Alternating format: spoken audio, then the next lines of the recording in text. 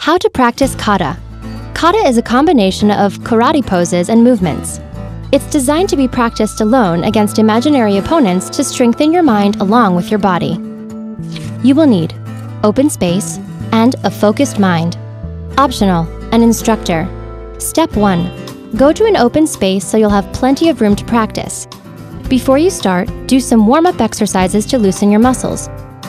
Bend forward, backward, and sideways, and rotate your torso in a circle. Stretch your legs by stepping forward and to the side. Step 2. Practice stances. Do forward stance, back stance, horse stance, and cat stance.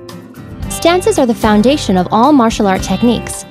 Practice punches, blocks, strikes, and kicks in these stances. Step 3. Imagine an opponent attacking. Turn your head toward your opponent and start with a block followed by a punch. Move forward, backward, side to side, diagonally, or in a circle to simulate a fight. To help memorize techniques, practice kata sequences in parts and consider working with an instructor. Step 4. Concentrate on your breathing. Focus on the expansion and contraction of your diaphragm. Take a breath before each kata movement and breathe out at the end of each kata movement. Step 5.